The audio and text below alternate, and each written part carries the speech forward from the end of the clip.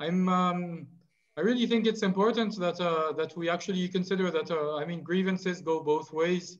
Um, that uh, uh, if we're willing to consider the fragmentation also of the opponents of the of the of the Houthis, we need also to integrate that there can be potentially um, you know fragmentation within the Houthis. Uh, currently, these do not appear because I think there's this kind of rally around the flag, which is uh, which is happening, and they they as we say in French, you know, they have their they have wind wind in their wings. Huh?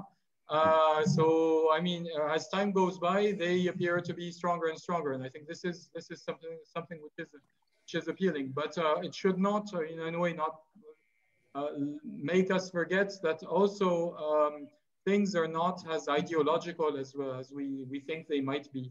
Uh, they might be linked also to sort of grievances uh, which have built up over the years and which can uh, can develop and reemerge, uh, you know, quite quite rapidly. And I think this will be will be important also to uh, sort of mitigate uh, mitigate uh, um, the, kind of religious ideology which appears to be to be building currently.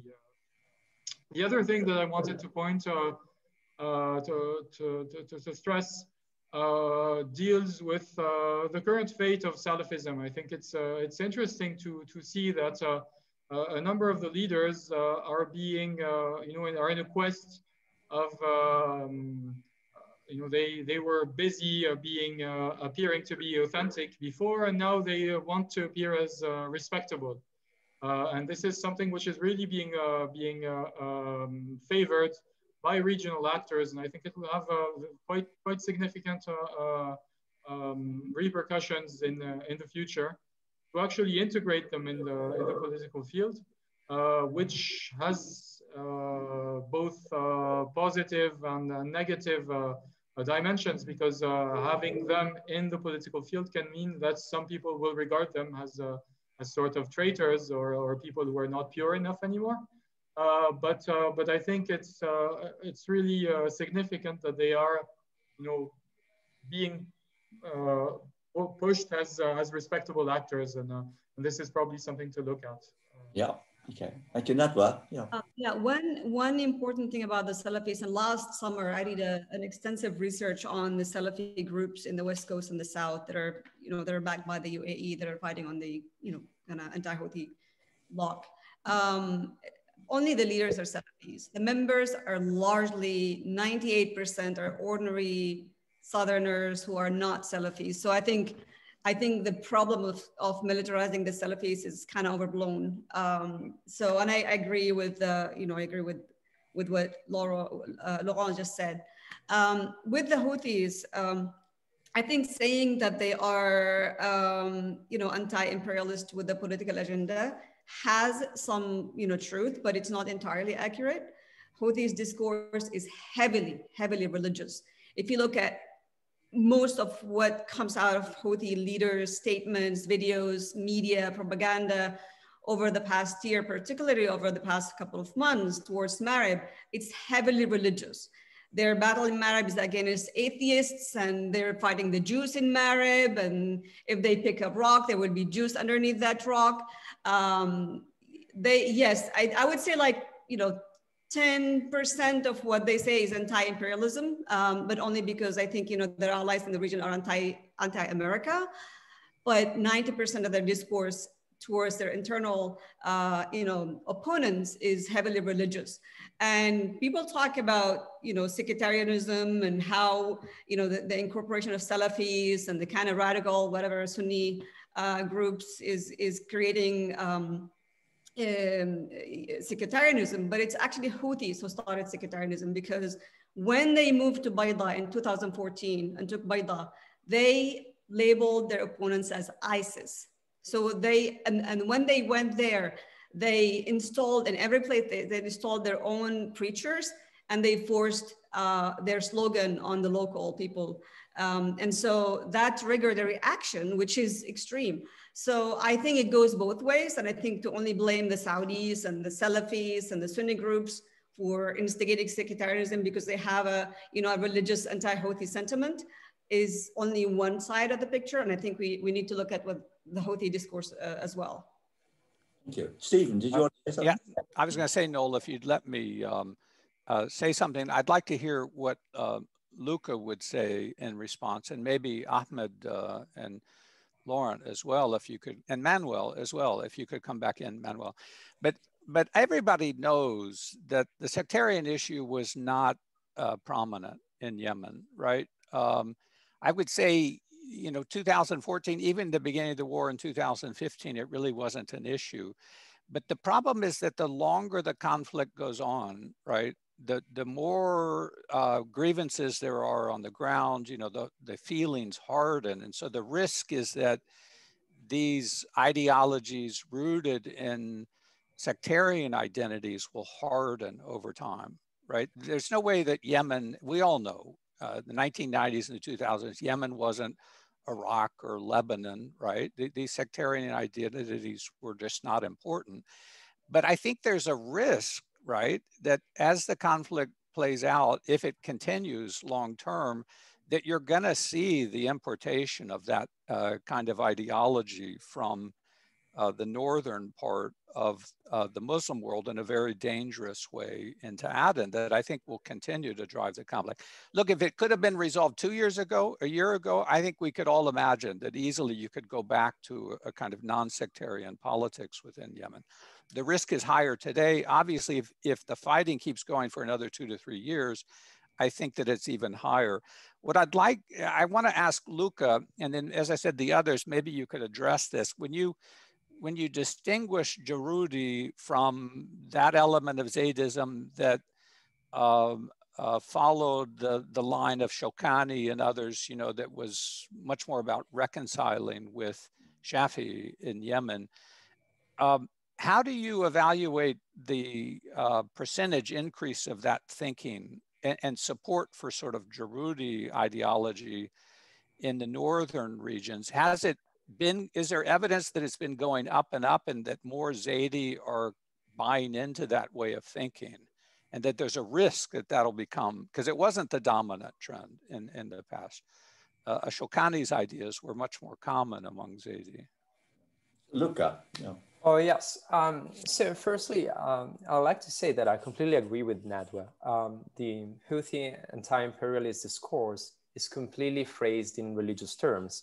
So whenever they say that they are opposing the United States of America, they would also say that they are opposing the Christians or the Jewish lobbyists behind the government in the United States of America. And whenever they say that they are opposing Israel, even when they use the term Sahiyuni, Zionists, Indeed, they also refer to the Jews.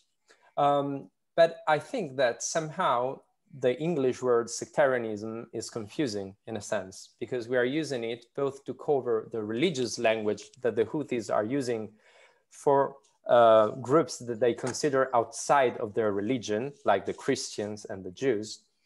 And uh, the same term is used to describe the internal factions of one religion.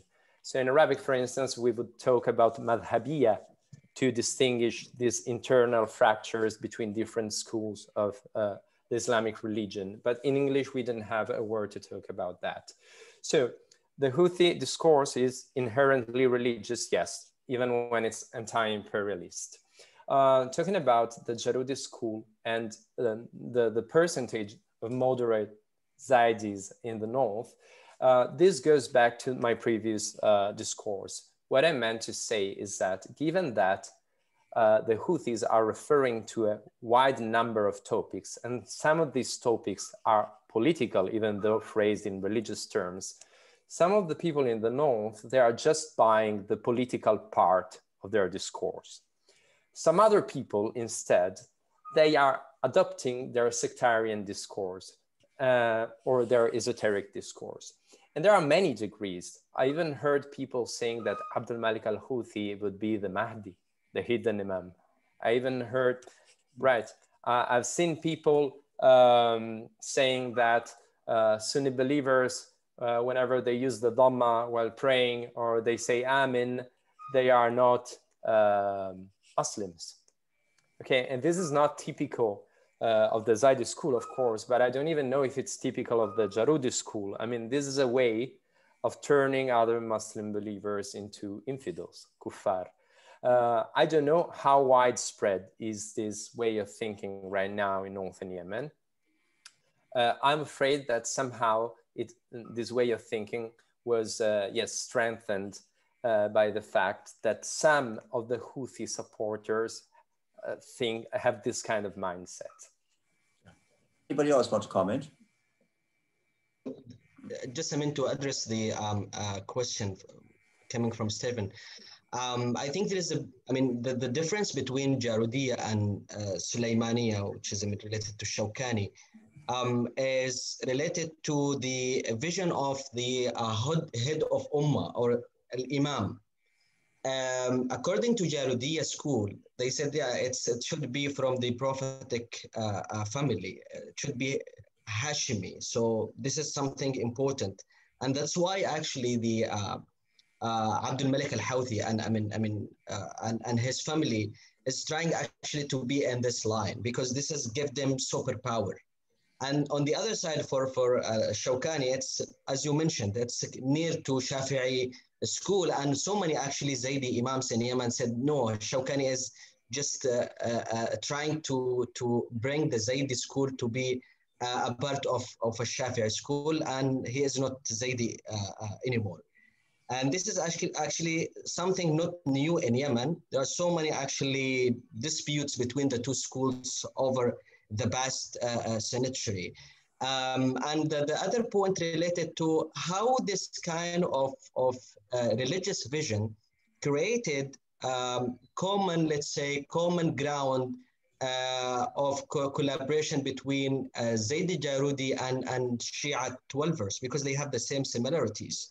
And from here, we can understand why today in Yemen, because of the conflict and because of the Iranian influence, there are huge, actually, Iranian ideas uh, among the, the, the, the Zaydi communities. And we cannot sometimes distinguish what is uh, uh Zaydi and what is coming from the Shia Twelvers because they are the same.